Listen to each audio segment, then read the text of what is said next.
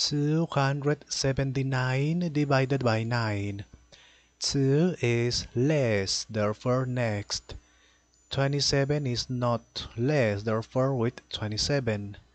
9 multiplied by which number is nearest to 27 but not greater 9 multiplied by 4 is greater multiplied by 3 27 is not greater okay subtract next.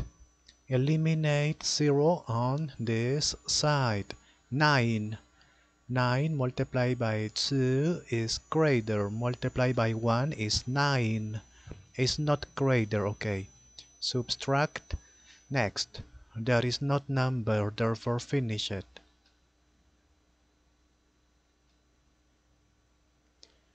Okay 229 divided by 9 is 31 okay